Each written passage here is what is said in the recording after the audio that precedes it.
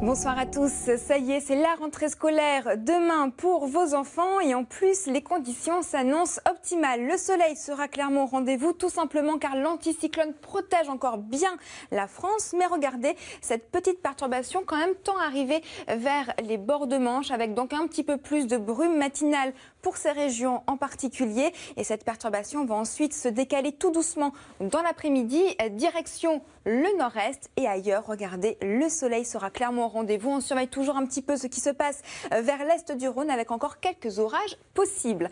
Les températures dans tout ça restent toujours bien stables avec 16 degrés à Paris tout comme à Bordeaux dans l'après-midi. Là encore, des températures toujours aussi élevées, voire même chaudes. Ça progresse d'un cran supplémentaire, une moyenne de 30 degrés, 33 même ce sera autour du Roussillon. Nous sommes jusqu'à 7 à 8 degrés au-dessus des normales de saison.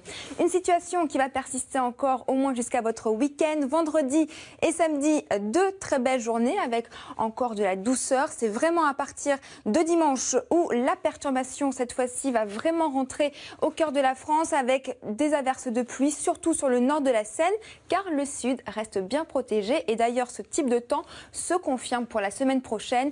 Pour les régions du nord, toujours un temps plus mitigé. Puis pour le sud, surtout, nous aurons le soleil.